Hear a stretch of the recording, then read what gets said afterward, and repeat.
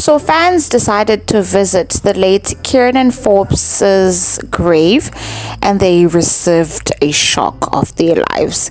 Hello everybody, welcome to the Blazing Hot Updates, Mzansi with Nosi. So people visited AKA's grave and tombstone and discovered that the tombstone was no longer there and immediately thought that it's been stolen. However, according to the citizen, the tombstone was not stolen but it was removed for technical reasons. The Forbes family said that they were well aware of this and explained that the tombstone was only there for the unveiling process, hence, it was removed afterwards.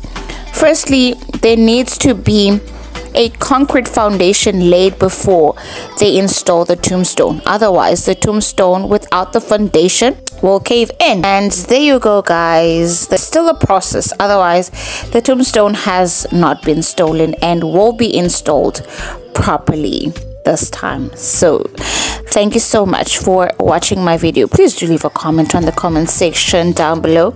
Voice your views and please don't forget to press the like button and the subscribe button. And I shall see you again on my next upload. Bye for now.